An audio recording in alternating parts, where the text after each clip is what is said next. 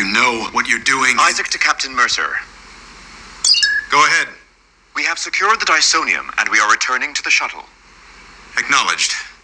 Mercer out.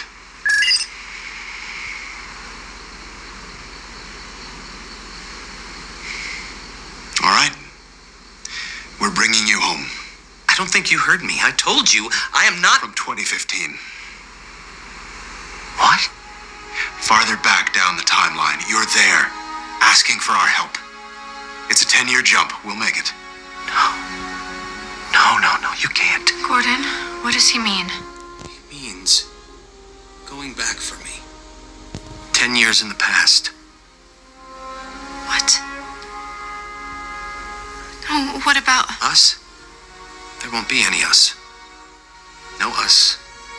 No Edward. No baby. What kind of people are you? I'm so sorry. But this reality was never supposed to exist. Our reality? My sons, my babies? You're saying they won't exist? I, I don't know. That's the reason it's illegal and immoral. Acknowledged. Mercer out.